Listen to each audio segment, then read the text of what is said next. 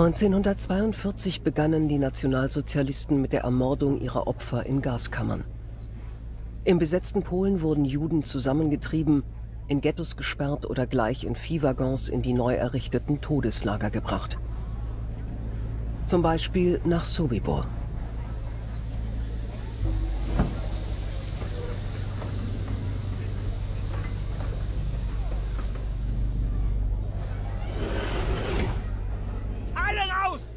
Juden, die den Transport überlebt haben, werden in Sobibor aus den Zügen gerissen. Kinder, die ihre Eltern verloren haben, weinen. Über die verzweifelten Schreie erhebt sich die Stimme des stellvertretenden Lagerleiters Johann Niemann. Sie werden von hier aus weitergeschickt in die Ukraine. Man habe sogar Postkarten für ihre Angehörigen vorbereitet, damit sie den Daheimgebliebenen mitteilen könnten, wie gut es ihnen geht. Diese Zeitzeugen haben Sobibor überlebt und beschreiben, was sie sahen, als sie in Sobibor ankamen. Out, out. Raus, raus. Wir stolperten aus den Waggons. Kleine Kinder wurden von ihren Eltern getrennt.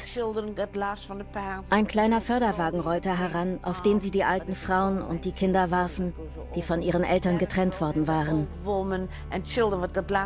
Dieser Wagen fuhr direkt zur Gaskammer. Wir standen in einer Reihe und sie suchten 20 von uns aus. Sie fragten, wo kommst du her? Ich sagte, aus Lodge. Sie sagten raus. Und so wurde ich einer von den 20, die sie aussuchten, um zu arbeiten. Aber mein Bruder und mein Freund, die im selben Transport waren wie ich, die gingen in die Gaskammer.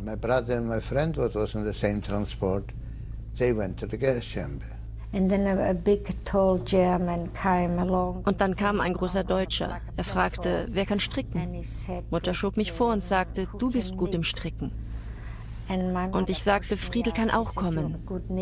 Aber die sagte, nein, ich bleibe bei Mama.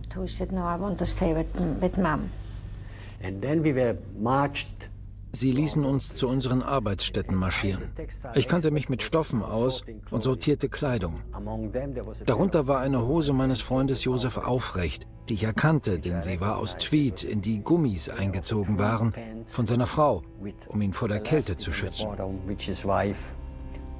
Während ich die Hose in den Händen hielt, waren die beiden schon tot, in der Gaskammer von Sobibor. In der Nacht kamen Juden zu uns und fragten, wisst ihr, was hier los ist?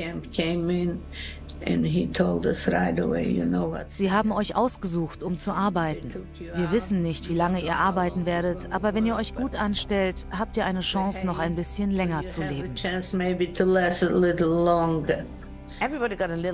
Jeder von uns bekam eine Postkarte und ein Deutscher sagte uns, ihr seid hier in Sobibor und wir werden uns um euch kümmern. Schreibt nach Hause, dass ihr gut angekommen seid. Knapp 200 Meter weiter weg war noch ein Zaun, genau wie der am Eingang. Auch grün. Hinter diesem Zaun sah ich ein Feuer. Ich konnte nicht sehen, was da brannte, aber da war dieser Geruch und mir wurde klar, hier ist der Weg zu Ende. Sobibor steht für die straff organisierte Ermordung von Juden in Gaskammern. Von den Nationalsozialisten zynisch als die Endlösung der Judenfrage bezeichnet. Bis zu 2000 Juden wurden in Sobibor tagtäglich ermordet. Sarah Berger hat in ihrem Buch Experten der Vernichtung die grausamen Abläufe im Lager beschrieben.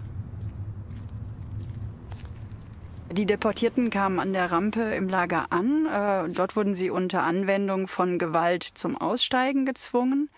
Sie liefen weiter in das Lager 2, wo ihnen eine Ansprache gehalten wurde. Sie zogen sich dann getrennt nach Männern und Frauen äh, im Freien aus und mussten ihre Wertgegenstände abgeben. Dann begaben sich die Deportierten in den sogenannten Schlauch. Das war ein mit Stacheldraht umzäunter Weg, der direkt in den eigentlichen Vernichtungsbereich führte. Auf dem Weg dorthin wurden den Frauen noch die Haare geschnitten. Direkt in den Gaskammern angekommen, wurden die Menschen in wenigen Minuten ermordet. Dieser gesamte Prozess des, äh, des Mordens, äh, der im Lagerjargon Transportabfertigung genannt wurde, dauerte wenige Stunden. Einige Menschen wurden nach ihrer Ankunft für Arbeiten im Lager ausgewählt. Thomas Blatt, damals 15 Jahre alt und einer der wenigen Überlebenden des Todeslagers Sobibor, wurde zu den Friseuren geschickt. Dann wählte SS-Oberscharführer Karl Frenzel willkürlich vier Häftlinge aus, darunter auch mich, und führte uns zur Haarschneidebaracke, die kaum fünf Meter von den Gaskammern entfernt lag. Dort standen einfache Holzstühle. Man gab mir eine große Schere und befahl mir zu warten. Langsam kamen die Frauen herein. Ich wusste nicht, was ich tun sollte. Schneide einfach schnell und in dicken Strähnen, sagte ein Kamerad. Du brauchst nicht nah am Kopf zu schneiden. Ich war schrecklich verlegen. Ich hatte noch nie eine nackte Frau gesehen. Ich tat mein Bestes, sie nicht direkt anzusehen, und sie blickten zu Boden und versuchten, ihre Körper zu bedecken. Ein junges Mädchen weinte über den Verlust ihres schönen Haars und bat darum, dass man ihr nicht zu viel davon abschnitt. Nur noch wenige Minuten und sie würde sterben, ohne dass wir das Geringste dagegen tun konnten. Nachdem die Frauen weg waren, füllten wir ihr Haar in Kartoffelsäcke die dann in einen nahegelegenen Lagerraum gebracht wurden. Nach etwa dreistündiger Arbeit und über 2000 Toten mussten wir auf Befehl der SS-Männer wieder zurück in unsere Baracken. Wir wurden durchgezählt. Alles wurde registriert. Wie viele ermordet worden waren und auch wie viele noch am Leben waren. Auf dem Rückweg wurden die Scheinwerfer um uns herum nacheinander abgeschaltet. Es war eine sternenklare Nacht. Im Herbst 1941 beauftragte Reichsführer SS Heinrich Himmler den SS- und Polizeiführer des Distrikts Lublin, Odilo Globotschnik, mit der Durchführung der Aktion Reinhardt, der systematischen Ermordung aller polnischen Juden, die vor allem in den fünf Distrikten des Generalgouvernements lebten: Warschau, Lublin, Radom, Krakau und Galizien.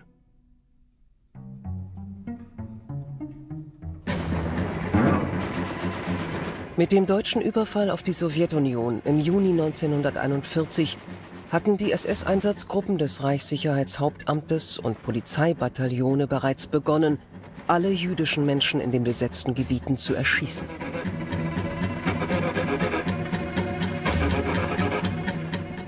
Das Massaker von Kamenetz-Podolsk in der Ukraine gilt als wesentlicher Schritt zur Shoah, der massenhaften Ermordung von Juden. Die Mitglieder der Tötungseinheiten erschossen Männer, Frauen und Kinder in Wäldern oder auf freiem Feld und verscharrten sie in Massengräbern. So auch in der Schlucht von Babin Yar bei Kiew, wo Ende September 1941 rund 34.000 Juden einem Massaker zum Opfer fielen. Am 20. Januar 1942 fand die Wannsee-Konferenz statt. Auf Einladung von Reinhard Heydrich, Chef der Sicherheitspolizei und des SD, trafen sich hochrangige Vertreter des NS-Regimes, um die massenhafte Ermordung der europäischen Juden zu koordinieren, die politisch bereits beschlossen war.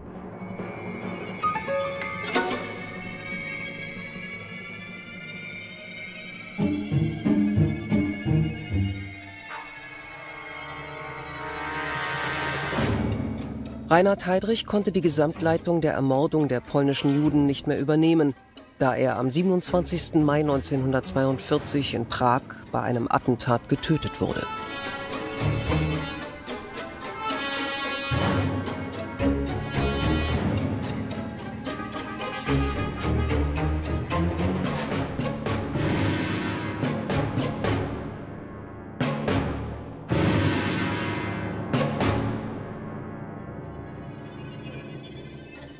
Die Massenerschießungen von Juden durch Einsatzgruppen hatten nicht die gewünschte Effektivität erbracht.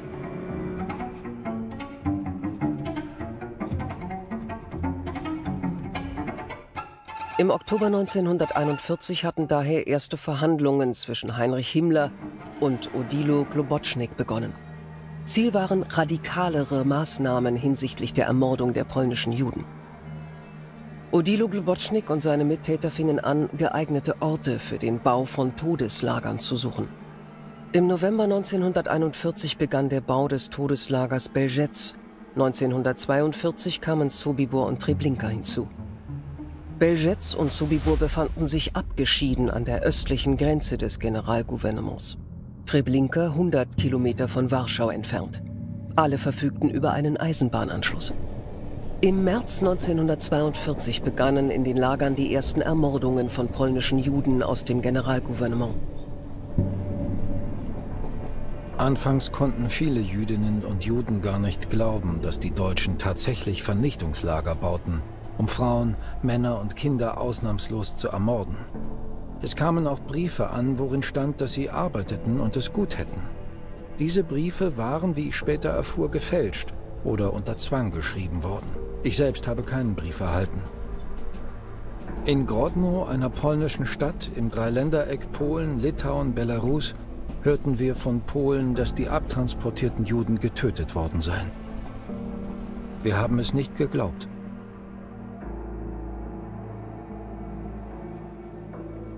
Franziska Bruder hat die Schicksale vieler deportierter Juden in dem Buch Das eigene Schicksal selbst bestimmen zusammengefasst. Die Juden wurden ja mehrheitlich mit Zügen nach Sobibor deportiert und die polnischen Juden mehrheitlich in Viehwaggons. Und ähm, das bedeutete, dass sie mit mehr, also mehr als 80, ähm, in der Regel auch mehr als 100 Personen in einen Waggon gepfercht wurden. Das hieß ähm, also akuter Sauerstoffmangel, das hieß extreme, extrem beengter Raum.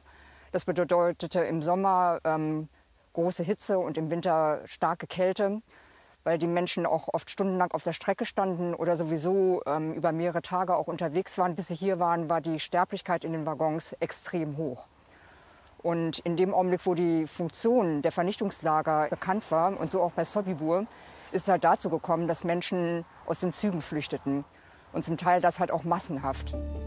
Josef Richter, ein verdeckt lebender Jude, der als christlicher Pole in Eisenbahnbaukolonnen Gleise reparierte, skizzierte diese furchtbare Zeit. Er zeichnete auf Zeitungsfetzen oder Pappkartons.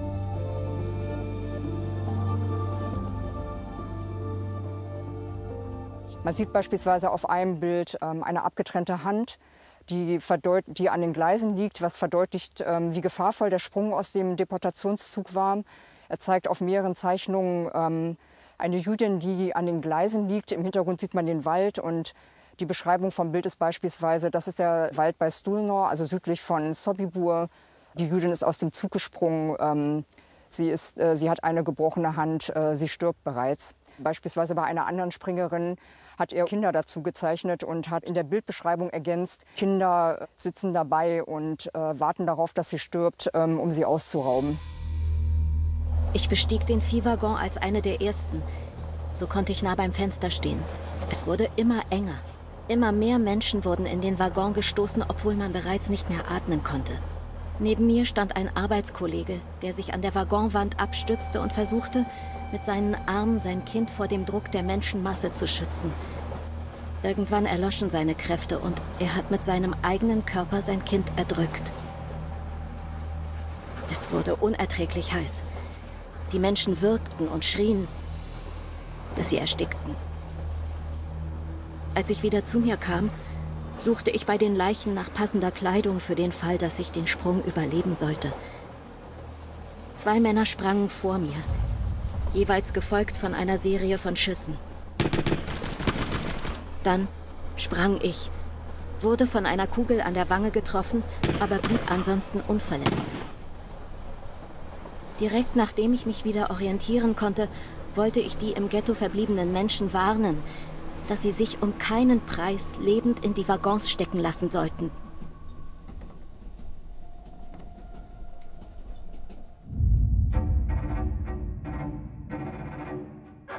Der lebensgefährliche Sprung aus dem Deportationszug war für die Menschen die letzte Möglichkeit, sich zu retten oder zumindest die Art ihres Todes selbst zu bestimmen, auf ihrem Weg in die Todeslager.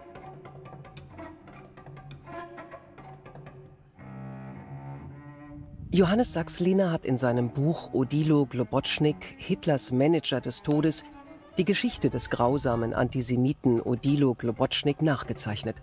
1941 kam dann dieser Paradigmenwechsel.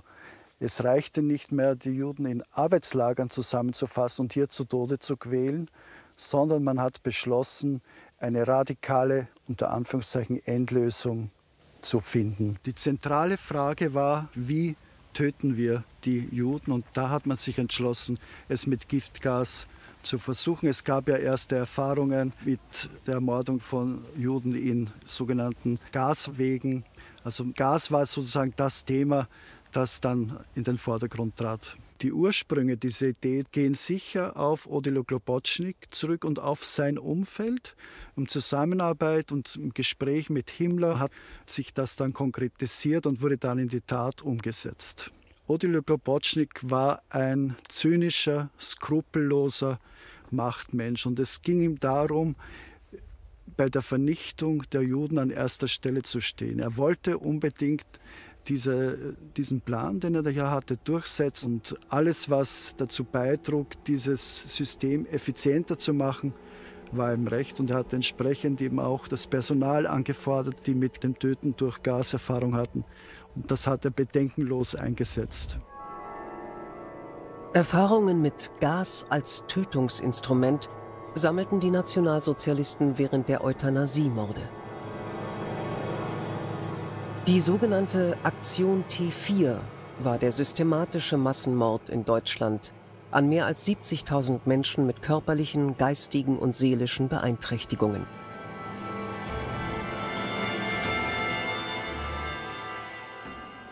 Er war der Auftakt für die noch viel größere Mordaktion, die folgte.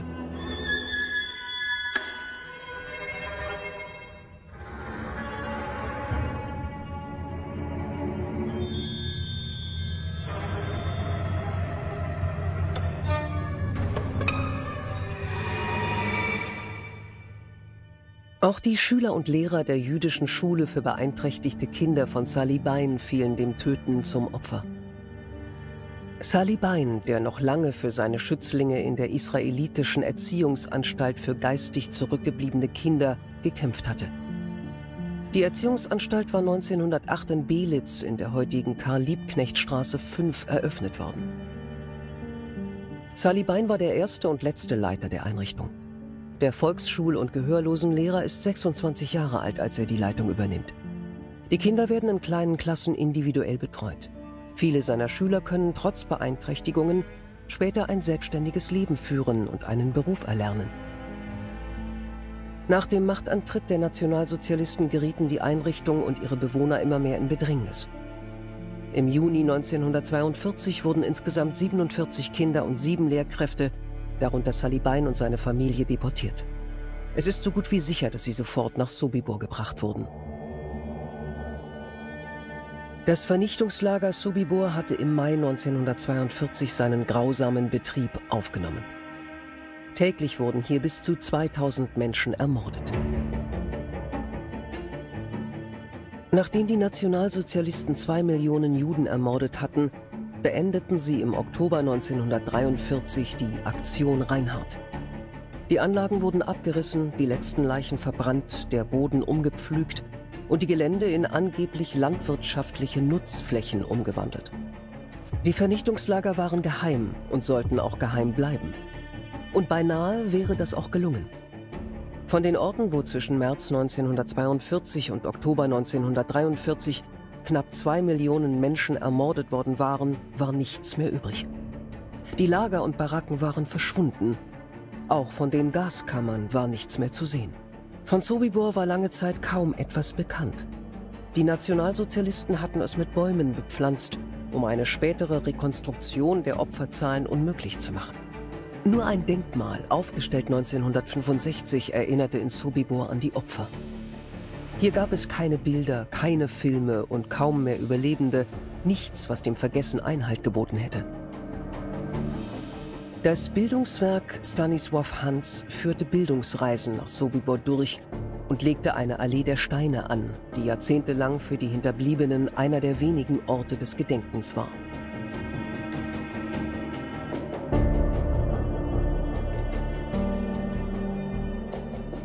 Die Sorge, dass Sobibor in Vergessenheit geraten könnte, trieb auch Thomas Teuvi Blatt um. Als er 1987 von Santa Monica, seiner neuen Heimat, nach Sobibor reist, muss er feststellen, dass auf dem gesamten Aschehügel Knochen liegen, die noch nicht beigesetzt worden waren. Teuvi ist entsetzt. Rena, seine Tochter, hat ihn oft begleitet. Mein Vater kam jedes Jahr nach Sobibor, denn er hielt es für seine Pflicht und seine Ehre, die Erinnerung lebendig zu erhalten.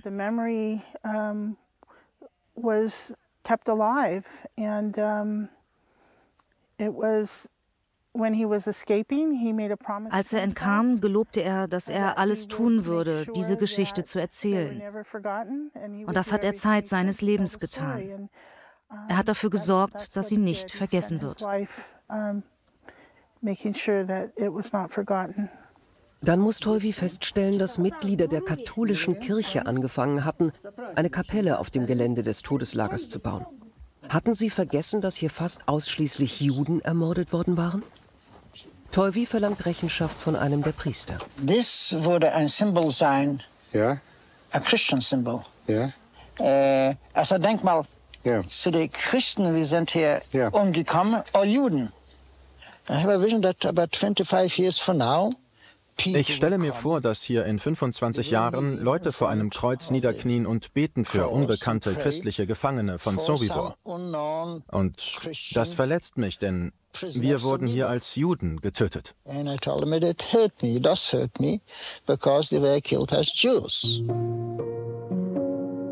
Tolvi besucht auch sein Elternhaus in Isbiza, aber niemand lässt ihn hinein. Niemand heißt ihn willkommen.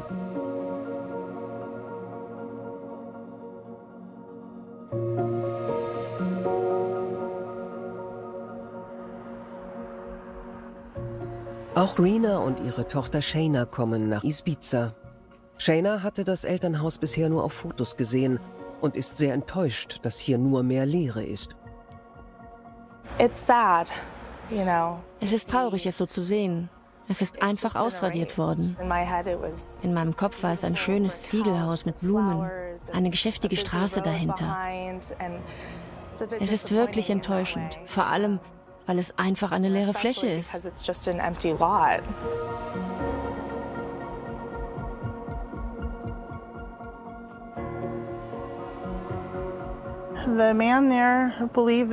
Der Mann dort glaubte, dass mein Vater irgendwas versteckt hatte, Gold oder irgendwas, und dass er deshalb jedes Jahr zurückkam. Nicht wegen seiner tiefen Gefühle, sondern weil er etwas versteckt hatte.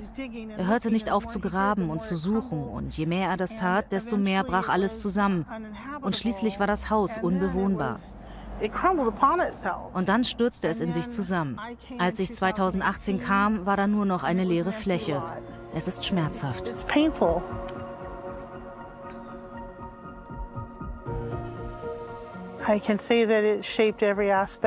Es fühlt sich an, als seien seine Erfahrungen meine Erinnerungen. Ich fühle mich hier wie er. Auf eine Art hat diese Geschichte mein Leben so sehr geprägt, dass sie jetzt ein Teil von mir ist. It's a, it's a part of me. 2007 begannen zwei Archäologen Sobibor im wahrsten Sinne des Wortes auszugraben.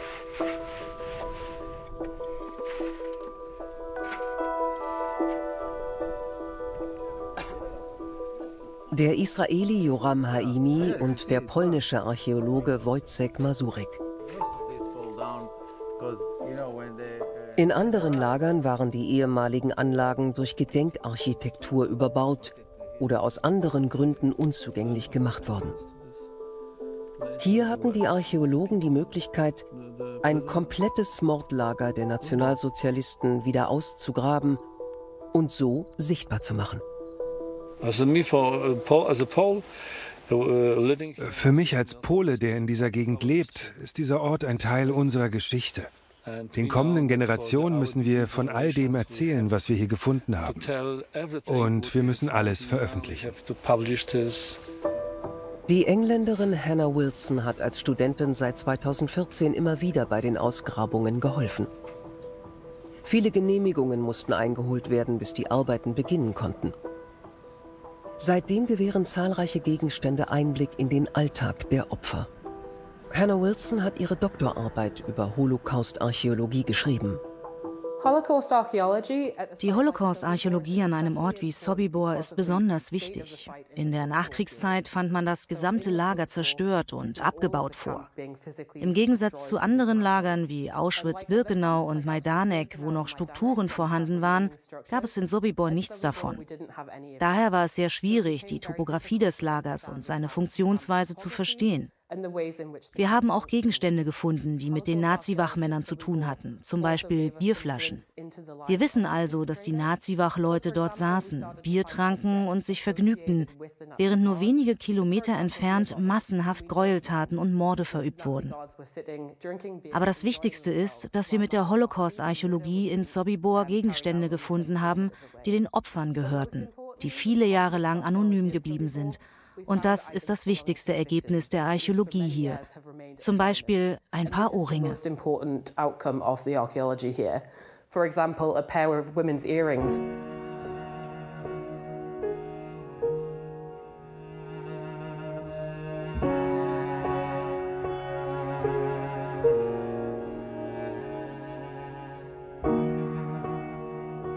Ein besonderer Fund ist das Geburtsmedaillon von Caroline Kuhn. Aufgrund dieses Fundes hat der Journalist Klaus Hillenbrand das Leben des damals zwölfjährigen Mädchens aus Frankfurt am Main rekonstruieren können. Durch diese Funde werden aus namenlosen Opfern Menschen mit Gefühlen, Hoffnungen und Ängsten. Joram Haimi führt uns durch das Gelände. Den ersten großen Fund machten die Archäologen 2011. Zwei parallele Reihen von Zaunpfählen, die am Ende eine 90-Grad-Kurve machten.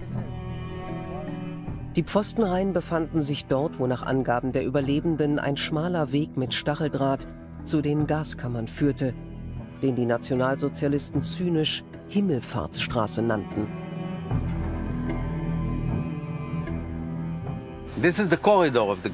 Dies ist der Gang der Gaskammer. Wir wissen noch nicht, ob sie von hier oder von hier hineinging, denn die Gaskammer lag eineinhalb Meter hoch. Nicht auf dieser Höhe. Ein russischer Soldat berichtete, dass sie sieben Stufen zur Gaskammer hinaufsteigen mussten. All diese Überreste, die man heute sieht, sind nur das Fundament des Gebäudes. Die Gaskammer selbst mit dem Fußboden haben die Deutschen komplett von hier weggeschafft. Als die Archäologen die Gaskammern fanden, glich das einer Sensation.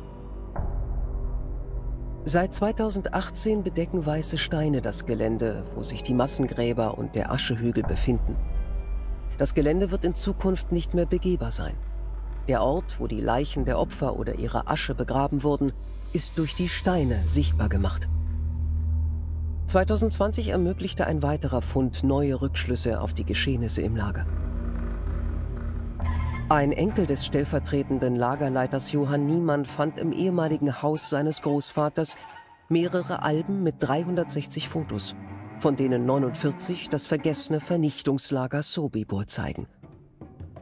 Ein kostbarer Fund für die Geschichtsforschung. Johann Niemann hatte sich über das strenge Fotografierverbot im Todeslager hinweggesetzt, da er es liebte, sich zu inszenieren. Die Kunsthistorikerin Annika Wienert und Steffen Henschen vom Bildungswerk Stanisław Hans entdecken auf den Fotos immer wieder Neues. Was, was Besonderes an diesem ähm, Foto ist, dass hier wie zufällig zwei ähm, jüdische Gefangene zu sehen sind. Also der Hauptfokus ist in der Mitte auf dem SS-Mann. Also bei manchen könnte man ja sagen, dass er auch die Fotos selbst gemacht hat, mhm. bei anderen wiederum nicht gemacht. Im Endeffekt waren das am Ende über 360 Fotos, die darstellen das gesamte Leben dieses deutschen Täters, die gesamten Orte, in denen er eingesetzt war. Unter anderem waren da eben auch 49 Motive aus Sobibor dabei. Und das ist natürlich sehr besonders gewesen, weil es gibt eigentlich zu den Lagern der Aktion Reinhardt kaum fotografische und bildliche Überlieferungen. Das hat sich nun völlig geändert. Auf Grundlage der Fotos und von Zeitzeugenaussagen konnte ein 3D-Modell des Todeslagers Sobibor produziert werden, das das Leben und Morden dort rekonstruiert.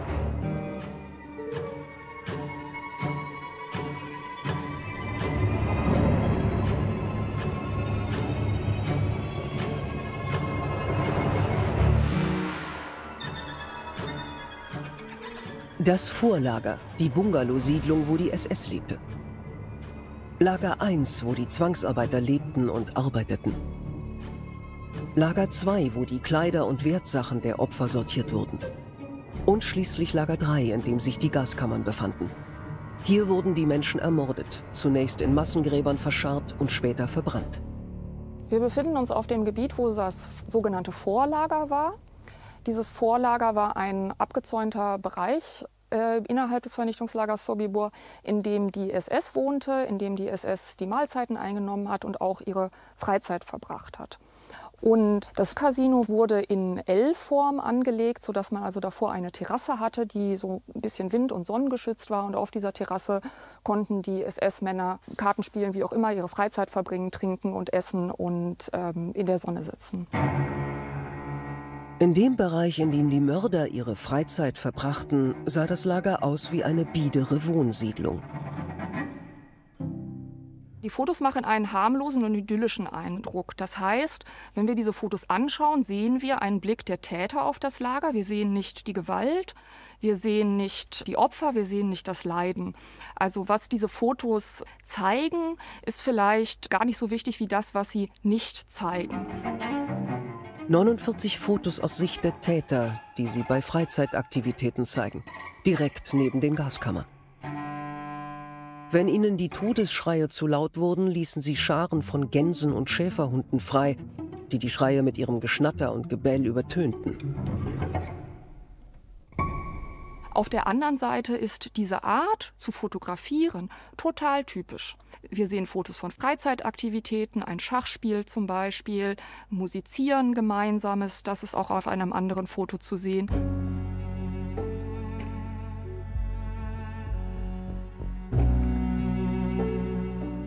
Sie hörten Musik und zwangen Gefangene dazu zu tanzen.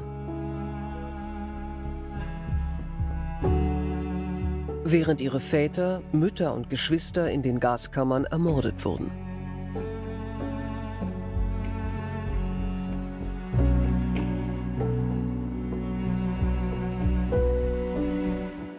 Wir denken, wenn wir an Lager denken, dann denken wir an Strukturen wie das Konzentrationslager Auschwitz-Birkenau oder die anderen großen Konzentrationslager, die sich im Reich befanden. Das sind mehr oder weniger militärisch wirkende Anlagen. Da gibt es diese parallel aufgebauten, rechtwinklig angeordneten Barackenreihen.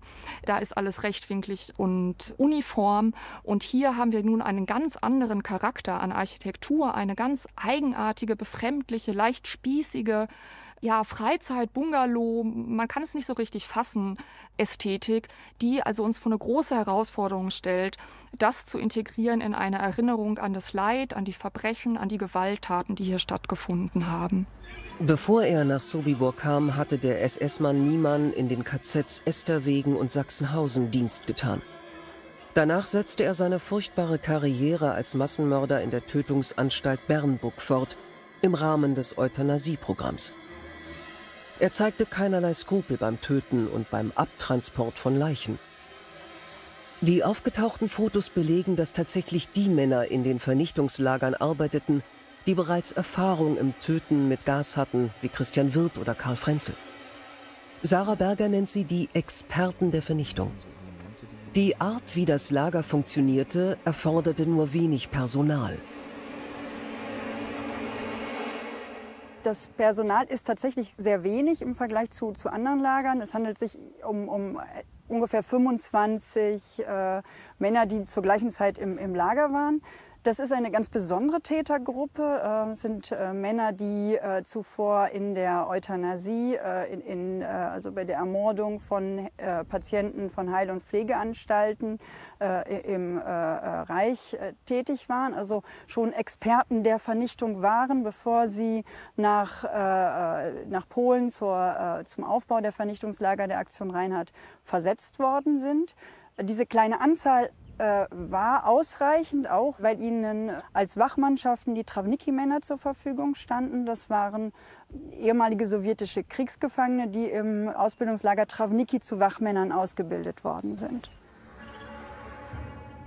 Sobibor als einer der bislang visuell am wenigsten überlieferten Tatorte wird nun zum fotografisch am besten dokumentierten Vernichtungslager. Natürlich aus Tätersicht. Um das Lager vor neugierigen Blicken zu schützen, äh, war einerseits äh, Zweige in den, in den Stacheldrahtzaun um das Lager äh, eingeflochten. Ähm, und dann wurde hier auf der, äh, parallel der Rampe ein Bretterzaun errichtet, damit die Passagiere der Züge nach Bodava nicht Einblick in das Lager bekommen konnten. Ähm, und auch auf das Dach der, der Gaskammern wurde ein Tarnnetz ausgebreitet, damit die Flieger, die in den Osten äh, flogen, nicht äh, Einblick in das Lager bekamen. Das Ganze äh, blieb trotzdem nicht geheim. Also es war ein offenes Geheimnis, äh, was für einen Zweck äh, das Vernichtungslager Sobibor hatte.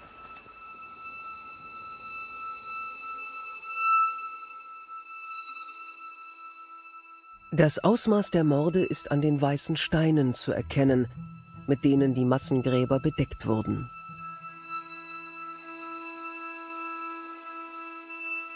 Die SS-Mordschergen Odilo Globotschniks hatten bald ein großes Problem. Wohin mit den vielen Leichen, mit den Toten aus den Gaskammern? Man muss sich vorstellen, dass durchschnittlich wahrscheinlich bis zu 1500 oder mehr Leichen angefallen sind. Ja. Und das heißt, die mussten beseitigt werden. Man hat das zunächst in riesigen Massengräbern gemacht, die dann äh, mit Erde bedeckt wurden. Aber diese Leichen haben dann, diese Gräber haben zu stinken begonnen. Also dieser Verwesungsprozess hat eingesetzt. Und dann kam eben der Wunsch auch der Führung in Berlin, man muss hier etwas machen. Die sogenannte Aktion 1005 begann. Das heißt, die Leichen mussten verbrannt werden. Sowohl die aktuellen Opfer aus den Gaskammern als auch die Opfer aus den, aus den, aus den Massengräbern, die exhumiert werden mussten. Das Schrecklichste für mich war, dass sie uns befahlen, die Leichen einen Meter hoch auf bereits volle Gräber zu legen und sie mit neuem Sand zu bedecken. Dann floss dickes, schwarzes Blut aus den Gräbern und überflutete die ganze Oberfläche wie ein Meer. Wir mussten darüber laufen, von einer Ecke des Grabs zur anderen, um zum nächsten Grab zu kommen. Unsere Beine versanken im Blut unserer Brüder. Wir trampelten auf einem Berg von Körpern. Das, das war das Schlimmste. Das Allerschrecklichste.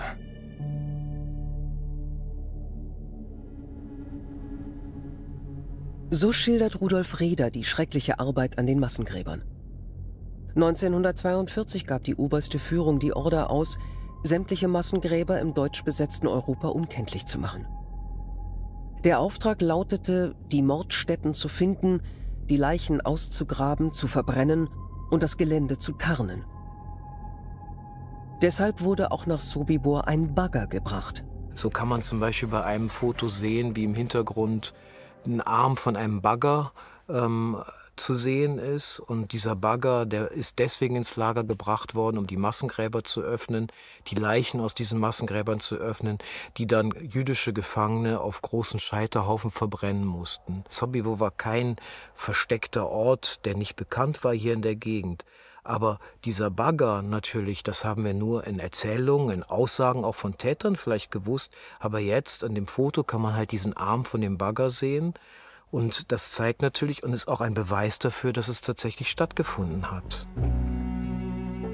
Es war eine wunderschöne Nacht. Im Mondschein konnte ich den Dorfbahnhof sehen und die benachbarten Häuser. Alles war so friedlich. Wären da nicht die Silhouette des großen SS-Mannes und die schussbereiten Waffen der Wachen gewesen, hätte man meinen können, wir würden einen kleinen Abendspaziergang machen. SS-Mann Wagner führte uns etwa fünf Minuten lang an den Bahnschienen entlang, bis wir schließlich vor einem Haufen ordentlich aufeinander gestapelter Ersatzschienen stehen bleiben mussten. Hinter den strengen Wachen schien der Wald mit seinen dunklen Baumreihen überaus verlockend. Aber eine Flucht wäre unmöglich gewesen. Das Tor ging wieder auf und schon befanden wir uns wieder in der Hölle. Wir marschierten direkt in Richtung Lager 3 und legten die Schienen neben dem Tor ab. So einfach war es, die durchgebrannten Roste der Scheiterhaufen zu ersetzen – ich fragte mich, wozu sich die SS eigentlich die Mühe machte, die Schienen mitten in der Nacht zu klauen. Aber ich nehme an, Wagner wollte sich auf diesem Wege den bürokratischen Aufwand ersparen.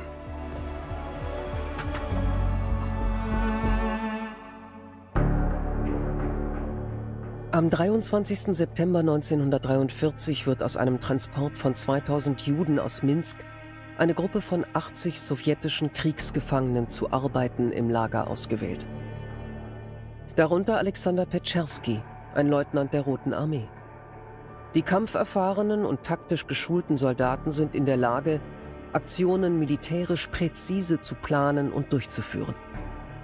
Petscherski nimmt sofort Verbindung zum Anführer der jüdischen Gefangenen auf, zu Leon Fellhändler, und arbeitet von nun an mit ihm zusammen. Langsam reifen ihre Pläne. Mitte Oktober soll es soweit sein. Sie planen einen Aufstand. Petscherski hat genaue Vorstellungen.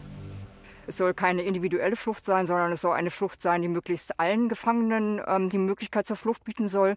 Und die Lager-SS soll getötet werden. Und das waren die Eckpfeiler der Strategie, ähm, wie sie dann halt das Vorgehen festgelegt haben. Und bemerkenswert finde ich daran ähm, vor allen Dingen halt den Punkt, dass es äh, sicherlich für Sascha Petscherski und seinen engeren Kreis ähm, auch in Zusammenarbeit mit Leon Fellhändler bestimmt sehr viel einfacher zu operationalisieren gewesen wäre, ähm, eine Flucht für einen überschaubaren Personenkreis zu organisieren. Aber genau mit dieser strategischen Zielsetzung haben sie halt eine sehr weitreichende, sehr verantwortungsvolle und auch eine sehr mutige Entscheidung getroffen. Für mich war eigentlich absolut klar, dass eine Flucht aus diesem Lager unmöglich ist.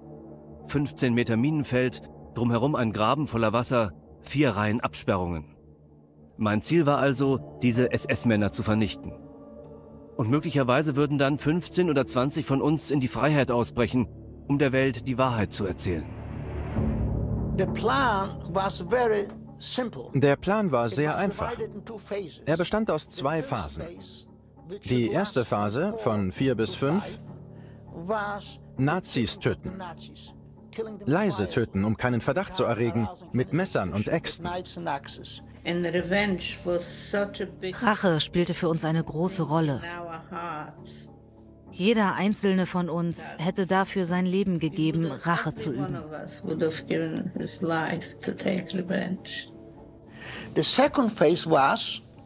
Die zweite Phase nach dem Töten und dem Abendappell war, in eine offene Revolte auszubrechen und die Waffen zu benutzen, die wir von den getöteten Deutschen erbeutet hatten.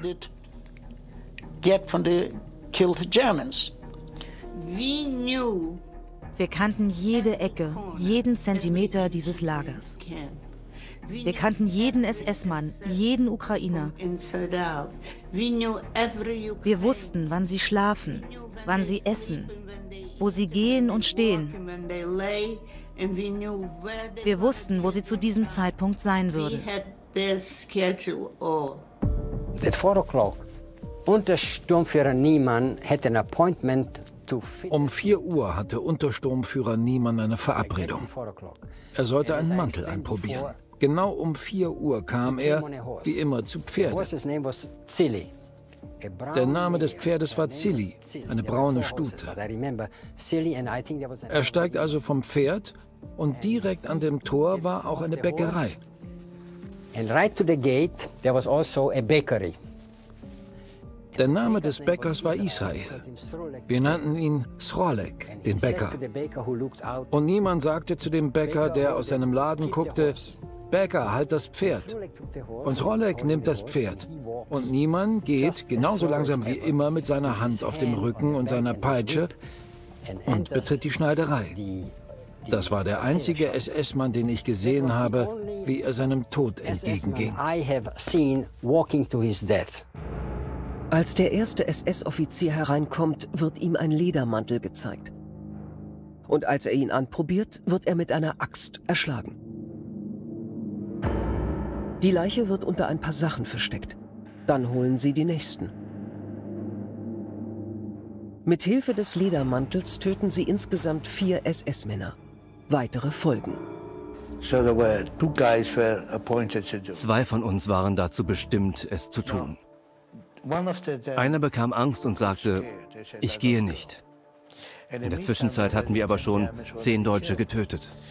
Selma sagte, du musst das machen. In dieser Situation gibt es kein Zurück. Aber er sagte, nein, ich kann nicht. Also ging Chaim hin und nahm sich ein Messer und ging an seiner Stelle. Chaim war dann sofort weg. Alles ging so schnell, ich wusste gar nicht, wo Chaim war. Ich ging dann mit dem anderen zusammen hin und wir töteten den Deutschen. Ich stach mit dem Messer auf ihn ein und sagte, das ist für meinen Vater, meinen Bruder und für alle Juden, die du umgebracht hast. Und so töteten wir ihn. Chaim kam raus und war voller Blut. Ich half ihm, sein Gesicht zu säubern. Er hatte auch eine Wunde am Arm. Ich wickelte ein Taschentuch darum. Dann kamen wir zum Lager 1, wo wir wohnten.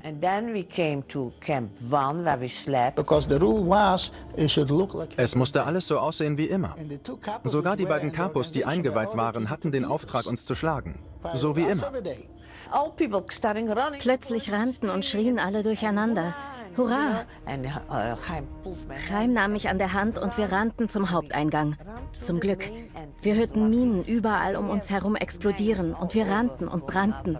So kamen wir aus dem Lager raus.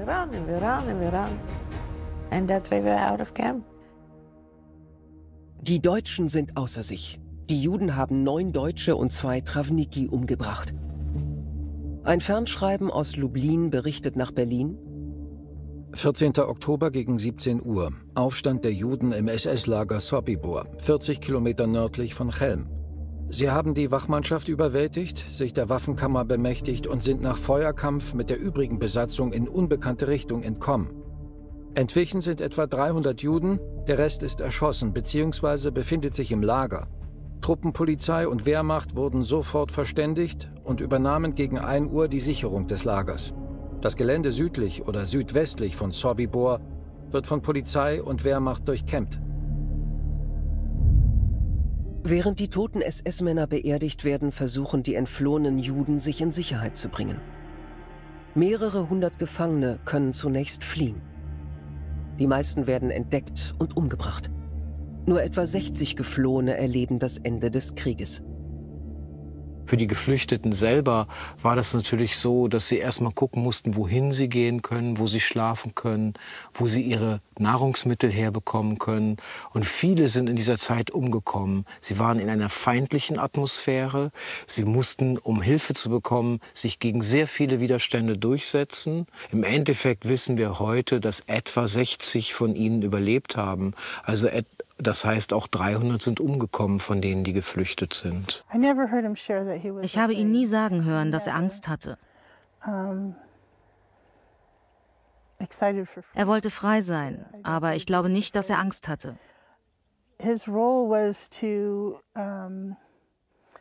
Seine Rolle war den Nazis auszurichten, dass etwas für sie bereitstünde, Stiefel oder ein Mantel, um sicherzugehen, dass sie an den Ort gelockt würden, wo sie getötet werden sollten. Alles war sehr sorgfältig getimt. Deshalb musste er an der richtigen Stelle sein. Das war seine Rolle. Die Bedeutung des Aufstands in Sobibor am 14. Oktober 1943 ist nicht zu unterschätzen. Die war sehr groß. Zum einen haben es ja über 300 Gefangene, jüdische Gefangene, Frauen und Männer geschafft, die Initiative zu übernehmen und den SS wegzunehmen, auch damit und aus dem Lager zu flüchten. Von nun an wussten alle, man gerät in die Defensive, der Widerstand ist möglich, er wird stärker und die Deutschen sind nicht mehr die unumschränkten Herren über Leben und Tod. Meines Erachtens hat der Aufstand eine sehr hohe Bedeutung. Ähm, es konnten nicht nur ähm, mehrere Angehörige der Lagermannschaft getötet werden, sondern es konnten zahlreiche Häftlinge auch während des Aufstands fliehen. Und diese konnten nach dem Krieg über die, die Geschehnisse im Lager berichten. Und auf dieser Basis konnten überhaupt auch NS-Prozesse angestrengt werden und äh, Angehörige der Lagermannschaft verurteilt werden. Nach dem Zweiten Weltkrieg kommt es zu einer Reihe von Prozessen, in denen Sobibor-Täter auf der Anklagebank sitzen. 1965 muss sich vor dem Schwurgericht Hagen Karl Frenzel wegen gemeinschaftlichen Mordes an 150.000 Juden verantworten. Am 20. Dezember 1966 wird Frenzel zu lebenslanger Freiheitsstrafe verurteilt. Acht Jahre später beantragt Frenzel die Wiederaufnahme des Verfahrens. 1982 wird Frenzels Strafe aus formalen Gründen aufgehoben. 1983 trifft sich Thomas Teuvi Blatt mit Frenzel. Teuvi Blatt hat sein Gespräch mit Karl Frenzel mitgeschnitten. Er will wissen, ob Frenzel bereut. Frenzel bleibt ihm diese Antwort schuldig. 1985 wird Karl Frenzel erneut zu lebenslänglich verurteilt. Die Strafe wird jedoch aus gesundheitlichen Gründen erlassen. This is a recording of an interview between Karl Frenzel, a staff officer in the death camp Sobibor, and a victim Thomas Blatt, former inmate of Sobibor death camp. Ihr Erlebnis, was Sie da geschildert haben, und das ist ziemlich haft, aber so was bei Ihnen haften geblieben ist, ist bei uns auch haften geblieben. Ich habe sechseinhalb Jahre im Gefängnis gesessen und habe sehr, sehr viel darunter gelitten.